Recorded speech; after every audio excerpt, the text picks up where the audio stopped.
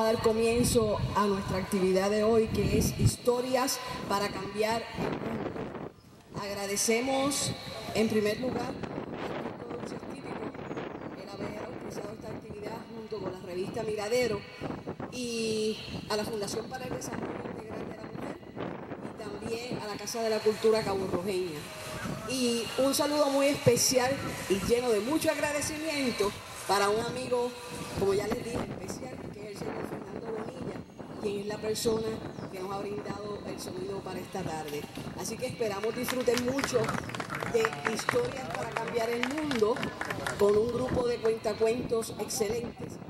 Así que para la presentación de los mismos, yo voy a dejar a la profesora Julia Cristina Ortiz, que es una de las personas también que ha auspiciado esta actividad. Muchas gracias. Perdón, Liani, porque me acaban de corregir que se me quedó alguien. Y es el Círculo de Lectura de la Plaza de Recreos Ramón Emeterio Betances, quien también auspicia esta actividad en la tarde de hoy. Gracias.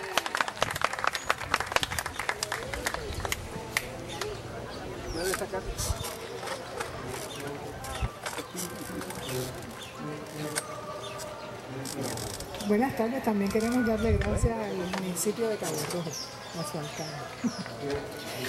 Vamos a explicar un poco de qué se trata la actividad de hoy. Es una actividad que se celebra todos los años y en, esta plaza es la segunda vez que lo celebramos. Voy a leer algo eh, que escribieron las doctoras Hilda Quintana y Matilde García, donde se explica. La Red Internacional de Cuentacuentos es un portal abierto a la difusión del cuentacuentos, la animación a la lectura, la creación literaria y las artes escénicas. Es una red que agrupa a más de mil cuentacuentos profesionales de 50 países en los cinco continentes. Una vez más, esta abrió una cuarta convocatoria para celebrar esta actividad de animación a la lectura, historias para cambiar el mundo hoy.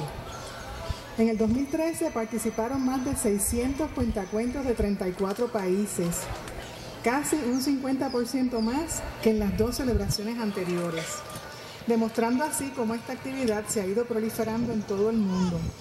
La red exhorta a celebrar este día e invitar a contar cuentos y disfrutar de las historias para cambiar el mundo a escuelas, teatros, centros culturales, plazas, universidades, barcos, dormitorios, estaciones de tren y POPs, entre otros.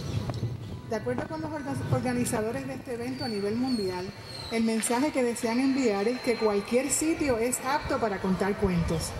Además, cualquier momento es adecuado para luchar contra las desigualdades, la injusticia, el racismo o la incultura. De ahí el nombre de esta actividad, Historias para cambiar el mundo. Ellos desean y nosotras nos hacemos eco de este mensaje, todos nosotros aquí, nos hacemos eco de este mensaje de contribuir a cambiar el mundo mediante la práctica ancestral de contar cuentos. Es importante que conozcamos que a esta red pertenecen, para orgullo nuestro, tres cuentacuentos de Puerto Rico. Tere Marichal, que está hoy con nosotros, Carmen Alicia Morales y Johan Figueroa González. Además de la lista de cuentacuentos de 50 países, en la página de la red pueden acceder excelentes artículos sobre la animación a la lectura, la importancia de la narración oral y el poder de los cuentos. Hoy estamos muy orgullosos en esta plaza de Cabo Rojo porque esta actividad eh, va a ser maravillosa ya que contamos con la presencia generosísima de Tere Marichal y su grupo de cuentacuentos que está eh, hoy en el día de hoy tenemos con nosotros a Sergio Marichal y a Dinora Lorenzo. Estas personas han venido por puro compromiso con esta actividad y por compromiso con nuestro país. Así es que estamos inmensamente felices eh, y orgullosos de poder traer esta actividad a Cabo Rojo. Eh, de verdad que no hay muchas ocasiones, ¿verdad? Y ustedes lo saben, los que somos de aquí, ¿verdad? No hay muchas ocasiones para contar eh, con este grupo excelente. Ya ustedes verán qué, qué cuentos tan maravillosos traen. Así es que les agradecemos a ustedes su presencia y la revista Miradero y el kiosco de dulces típicos agradece en lo que vale eh, la participación de ustedes hoy, así como la presencia de Tere y todo su grupo. Muchas gracias.